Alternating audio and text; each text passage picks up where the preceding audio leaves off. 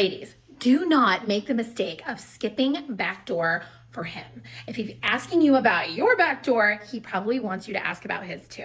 My name is Nikki Mars and I'm your new desire coach. I've been in this space for over 12 years and there is a stigma around men mentioning that they want some backdoor action. So we're gonna talk about how you can incorporate this into your playroom uh, without any shame. But remember, this is for educational purposes only. The first thing that you want to do is open the door. You want to have an open conversation about this and in a shame free way. Asking the question, hey, I've learned that a lot of guys in hetero relationships really love this and it can give you an explosive orgasm. Is this something you might want to explore?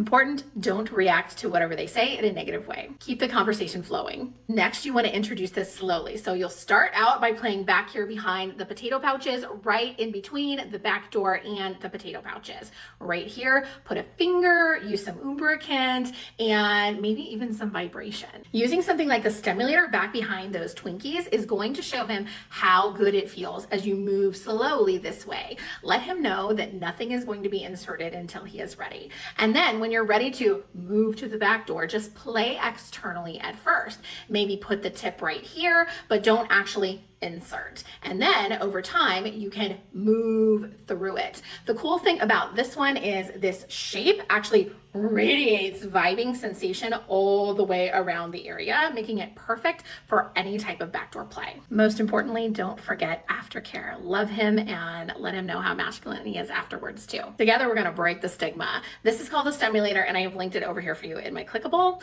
If these tips were helpful, don't forget to follow along for more.